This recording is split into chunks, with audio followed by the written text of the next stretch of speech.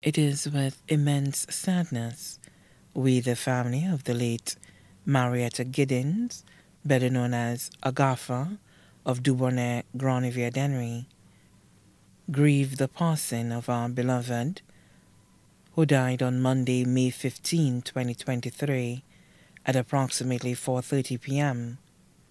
She was 62 years old.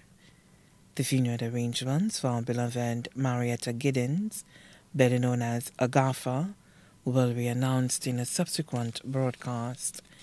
Her body now lies at Rambally's Funeral Parlor, Calvary Road, Castries. May she soar with the angels.